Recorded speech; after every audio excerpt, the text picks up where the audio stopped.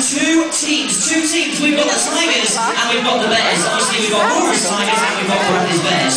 Over here this evening, representing Rory's Tigers, we've got one star Big Mac. She is. Wait for it. You've got to do your dancing thing.